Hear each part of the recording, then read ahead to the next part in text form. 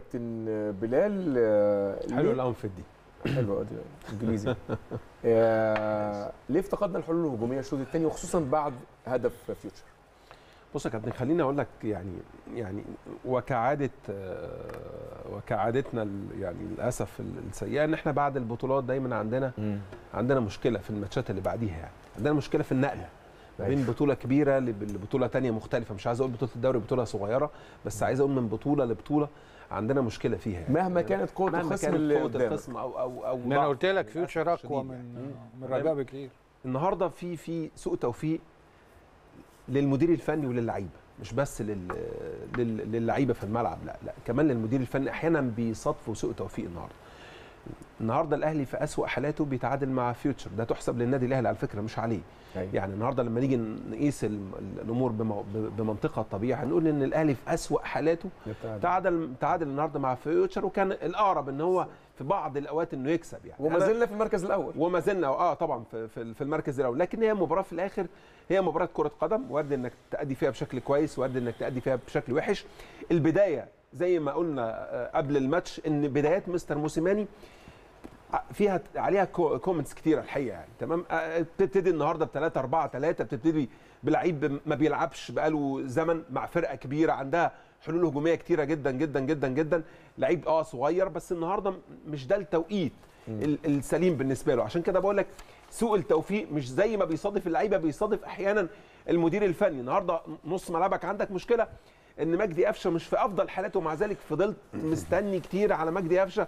في التغيير بتاعه وده كان حل كان المفروض يبقى من بداية الشوط الثاني وإحنا قلنا إن إحنا مجدي قفشه المفترض إن هو يغير من بداية الشوط الثاني ممكن يكون عندي لعيب جيد وإمكانياته كبيرة لكن واضح من بداية الماتش إنه النهارده مش في الفورمة بتاعته. أحمد عبد القادر لعيب قدر يصنع هدف كرة بتيجي في رجله بيقدر يشتغل بشكل كويس. ممكن يكون زي ما قال كابتن أسامة عربي قل شوية لكنه مازال هو اللعيب الوحيد اللي عنده حلول في الحتة الهجومية. ما ينفعش اطلعه واسيب مجدي في الملعب.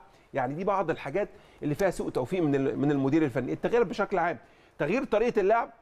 زي ما اتكلمنا أو زي ما اتكلموا كباتن تغيير 3 من 3 4 3 ل 4 3 2 1 الدوري العام مختلف شويتين ثلاثة عن إفريقيا. في إفريقيا ممكن تلعب 3 4 3 وتحط لعيب في نص ملعب تحطه يلعب زي center back ثالث يعني فاهم قصدي؟ إنما في الدوري العام الأمور مختلفة. أنت محتاج الاثنين الباكين محتاج الجناحين. محتاج ال play maker محتاج راس حربة. صريح محتاج أحيانا في بعض الأوقات زي ما كابتن شريف بيطالب إنك تلعب second striker صريح عشان الكرات العرضية. الأهلي النهارده غير موفق على الإطلاق في في المباراة. لا إدارة المباراة ولا حتى كمان اثناء أثناء ال game نفسه. ممكن وده وارد في كرة القدم وزي ما الكابتن عادل والكابتن شريف والكابتن أسامة وارد إنك يكون يكون اللعيبة بتمر بحالة من الإجهاد. وده برضو أمر وارد جدا وطبيعي في كرة القدم إنك أنت بعد فترات كبيرة جدا منتخب و... وسوبر إفريقي وبتيجي تلعب الدوري العام بعدها بثلاث أربع أيام وارد إن يكون يكون عندك حالة من الاجهاد لكن أنا بتكلم عن الحالة الفنية لعيبة النادي الأهلي. الحالة الفنية لعيبة النادي الأهلي والتغييرات والأداء بتاع مستر موسيماني في ماتش النهارده. النهارده أنت ما دخلتش الماتش وأنت بتلعب فرقة كبيرة. أنت دخلت الماتش عادي هكسب. يعني النادي الاهلي هيكسب اي حد. صح. يعني من وجهة نظر يعني مستر موسيماني لما دخل المباراة أنا هكسب النهارده بأي تشكيل بأي طريقة بأي لعيب. هلعب 3 4 3 هكسب هلعب 4 4 3 2 1 هكسب. كويس. في بعض الأوقات يا كابتن أيمن لا لازم تبقى أنت مركز قوي ودارس الخصم اللي قدامك بشكل جيد. حلو. خلينا نتكلم في النقطة دي آه، بتفاصيل أكتر يعني. لما يكون عندي مجموعة من البدلاء على الخطوط يبقى معناها إن هم هل جاهزين بنسبة 100% ولا انت كمدير فني زي ما بنقول بيدي دقايق لبعض اللعيبة اللي هم عليهم أحمال بدنية عالية قوي اللي هم مجهدين اللي هم راجعين من إصابة زي مثلا علي معلول. ف... فانت بتريحهم علشان ي... تديهم جزء مثلا شوط تاني لو انت احتاجتهم هل من الأفضل إن انت طالما هم محطوطين في البدلاء إنك تبدي بتش... تبتدي تبتدي بتشكيلك الأساسي أو بلاعيبتك اللي هم أصلا أنت معتمد عليهم بدلا من إنك أنت تلجأ لواحد أو اتنين بقالهم كتير ما بيلعبوش. طيب خليني أقول لك يعني هاخدها أو آخد أس يعني النقطة الأولى. يا كابتن ايمن ان هو أنا النهارده بلعب باني طريقة الأول؟ أو الطريقة دي مناسبة لمين؟ اولا مع بقية الفرق باستثناء الزمالك مثلا أيوه ما ينفعش تلعب ب 3 4 3 من وجهة نظري أنا شو ممكن أكون أنا مخطئ في الحتة دي. لكن مستر موسيماني نفسه في معظم المباريات بيغير طريقة اللعب الشوط الثاني دايما بيبتدي 3 4 3 ويغير طريقة اللعب ل 4 3 2 1 أو 4 3 3 الشوط الثاني اللي بنتفوق فيها بشكل كبير جدا وبنحرز الأهداف وبن... وبنستحوذ بشكل كويس وبتتيح لنا فرص كتيرة جدا جدا للتهديف. ده خلينا دي ده, ده الشق الأول. نتكلم عن الشق الثاني الشق الثاني انت النهارده آه وارد انك تريح بعض اللعيبه. علي معلول ممكن تريح علي معلول النهارده. بس مين يلعب مكان علي معلول؟ أيوة. هو ده هو ده الاختيار. ما ينفعش أنا بجيب لعيب. أنا أنا النهارده كابتن عادل بيقول لا ده هو لاعب آه، لاعب آه، آه، إيه يا كابتن؟ على مكسوني. لا لا بتكلم على ال center back. ال center آه، back أحمد النادي الاهلي. أحمد نبيل كوكا كابتن عادل بيقول في الناشئين كان بيلعب center back لكن أنا ما شفتوش center back في ال first team مش في. الفريق الأول. أنا ما أقدرش أقول لك إذا كان يجيد ولا لا يجيد. أنا أقدر أحكم عليه الكل في كل المباريات اللي لعب فيها مع النادي الأهلي هو ال- ال- ال left back. فلما النهارده تيجي تحطه أو تيجي نحطه النهارده يلعب center back وجنبيه واحد كمان المقومات بتاعته أصلا مش center back تمام؟ كمان. على ميكسوني مش back لا كمان. وكمان لا أنا بتكلم حمدي فتحي. آه أنا بتكلم على حمدي فتحي كمان يا. كابتن. آه، آه، يعني بتكلم بتكلم على حمدي فتحي. ده أنت أيوة، النهارده أيوة، أيوة. الثلاثه اللي ورا أنت ما عملتش ال ال ال يعني ما, ح- ما ما عملتش التوليفة الجيدة ما بينهم. يعني الطبيعي إنك بتلعب اثنين center backs أساسيين وبتحط واحد زي حمدي فتحي لعيب كورة كويس أيمن ممكن يبقى ليبرو هل الملعب يطلع. كان في أول half time يستحمل عمار حمدي ولويس ميكسيوني؟ لا ما هو عمار يا مش عمار. آه اسمه آه أحمد نبيل أحمد كوكا. نبيل كوكا, كوكا و- ولويس ميكسيوني. ما هو كان الملعب كان الملعب خط- خط- كان الملعب يستحمل التدويرتين دول مع بعض.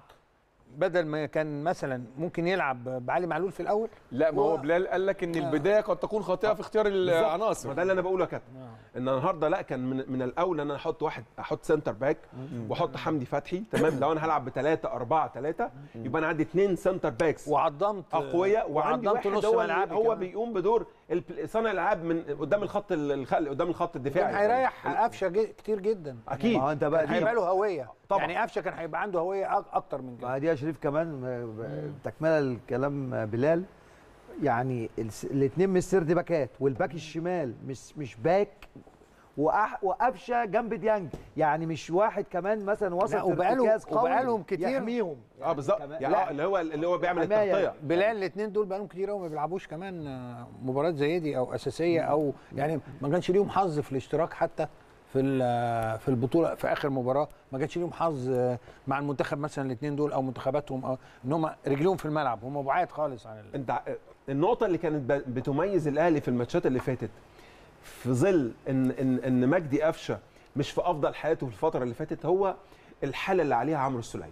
هو ده اللي كان بيعوض لك الحتة بتاعت مجدي قفشة. يعني النهارده أنا مجدي بقاله كام ماتش مش في ال top form بتاعه يا كابتن. أيوة. اللي كان بيعوض الحتة دي عمرو السولية والأداء الهجومي الجيد بتاعه لأنه كان بيقوم بدور صانع العاب فتحس إن الأهلي ما عندوش أزمة في حتة صناعة اللعب ما عندوش أزمة في حتة بناء الهجمة ما عندوش أزمة في حتة التكملة الهجومية. لكن النهارده لما ما كانش موجود عمرو السولية حسينا إن في فوارق كبيرة جدا في الحتة دي. صحيح. اليو ديانج مش من اللعيبة اللي بتقدر تعمل ال through passes لقدام مش من اللعيبة اللي بتقدر تكمل وتخش جوه ال 18 مش من اللعيبة اللي بتلعب بدماغها جوه ال 18 ده افتقده النادي الأهلي بعدم وجود النهارده عمرو عمرو السوليه فأنا بالتالي أنا كان من الممكن النهارده إنك تحل اللغز ده كله وتلعب باربعه 3 3 أو 4 3 2 1 يبقى عندي أف... يبقى عندي حمدي فتحي وعندي اليو ديانج في نص ملعب اثنين قلبي دفاع يعني اقوياء كرتهم مع كويسة ويلعب من قدامهم مجدي قفشة وعلى يعني يلعب طبيعي. يعني. آه يلعب يلعب طبيعي. طبيعي ويلعب ويلعب بالاثنين بيرسي تاو ويلعب الناحية الثانية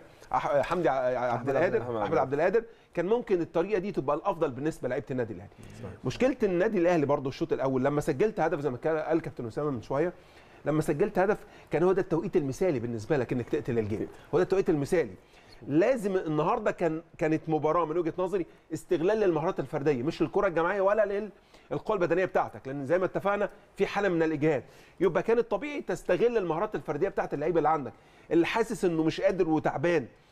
ما تقدرش تستنى عليه الفترة الطويلة دي. التغييرات بقى هتكلم في حتة التغييرات يا كابتن. النهارده قفشة يعني بعيد شوية. لازم التغيير يبقى بدري بسرعة. انت بتلاعب فرقة واضح إن هي بتهددك واضح إن هي ممكن تجيب جول في أي وقت. ما ينفعش إن أنت تنتظر بالتغييرات بتاعتك. لابعد مسافه ممكنة. على أمل إنك تعود أو ترجع في كل ماتش. مش كل مباراة هيجي فيك جول هتقدر تعوض. مش كل ماتش. في أوقات كتيرة جدا ممكن يجي فيك هدف ما تقدرش تعوض. مشكلة النادي الأهلي الفترات اللي فاتت إن أوقات كتيرة ما ب... يعني ما بنسعاش إن إحنا نجيب الجول الثاني أوقات كتيرة ما بنسعاش إن إحنا نعزز الهدف بتاعنا. أتمنى الفترة اللي جاية إن شاء الله. يعني يعني نستوعب الدرس لأن ده ما ينفعش إن إحنا بالأداء ده يعني أو ما ينفعش إن إحنا نروح للتعادل بأدائنا إحنا. أيوة. مش بأداء الخصم. يعني أنا بشوف النهارده الأهلي هو اللي فرط في في في المكسب. مش فيوتشر هو اللي آه فرقة كويسة فرقة جيدة. ولكن أنت عشان ما كنتش الأفضل النهارده في الماتش عشان كده قدر يتعادل معاك. صحيح.